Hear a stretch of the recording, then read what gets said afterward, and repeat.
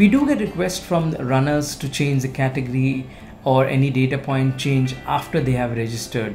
Here at You Run, we welcome these requests, verify all the data, and the changes are done. The requests are taken via email or by calls. Unlike IVR, we have people taking up calls and answering queries of the customers or runners and the changes or any requests are processed then and there. If the requests are coming by email, then we do read the emails and the answer is given in the next 24 hours.